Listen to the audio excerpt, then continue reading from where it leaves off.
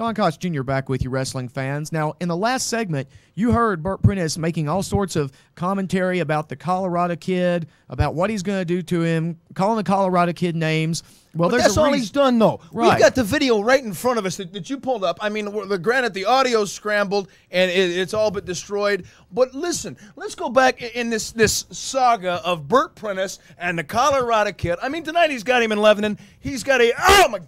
See, look, he's going to stoop to nothing. This is an evil, vile human being, this Bert Prentice. As a matter of fact, even in the deal that Colorado signed with him, um, however many years ago it was, it was an 80 20 deal. He knew what he had. Now he's cut it off. I seen Colorado sitting on the side of the road with his car uh, because he's having to drive some beater because uh, Bert Prentice repossessed his truck. Well, right, and you know, and Col- Colorado kid, he's a good man. Bert Prentice is just bitter. Bitter is the word for Bert Prentice, and you're going to see There's why a lot of words for. Bert Prentice. He has stopped at nothing. He's bringing out for Christmas chaos. He's bringing out the Christmas ghost. He says it's the ghost of Colorado past. What the heck does that mean? Colorado's wrestled all over the United States. And he doesn't even have the Look at that guts to tell Colorado. Kid who his opponent's going to be Christmas night. At least tonight he knows he's facing Chris Michaels in Lebanon. But see, Bert is out to do everything he can to destroy the kid. Shane.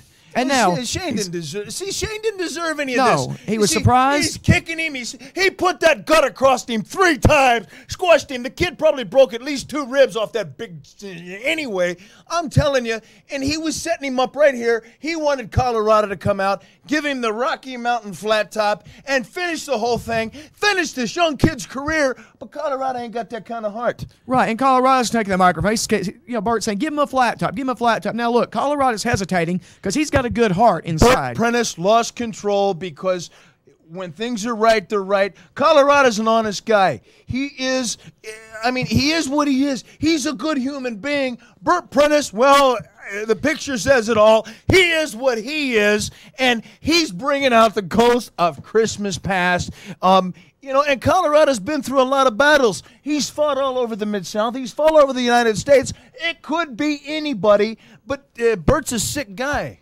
Okay, and here's Colorado Kid. He's telling Bert that he's not going to do this. He's tired of him. He's fed up with him, and he's fired. Now that made Bert angry. He gave him a little sissy slap because he's so upset. Oh, and, yes! And that's what he gets for it. Colorado did not give a sissy slap. He punched him in the Yes! jaw. He gave him the Rocky Mountain flat top, and now he's celebrating because he's finally severed his ties Oh with my someone who's God. been ripping See, him off this this. whole time. That's what you call getting your notice right there, two feet in the face.